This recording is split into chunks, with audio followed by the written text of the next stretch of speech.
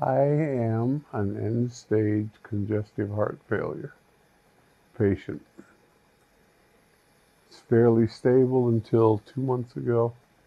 Since then, it's dropped way fast, way low.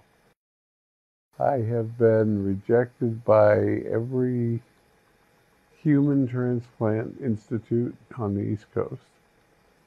We are now down to my only real hope left is to go with the pig heart, the xenon transplant. Um, hoping for the absolute best. I have Dr. Griffith and his entire staff have been incredible. But again, nobody knows from this point forward. We're going to do the best we can. At least now I have hope and I have a chance. My whole family has been awesome. So I will fight tooth and nail for every breath I can take to stay with all of them longer.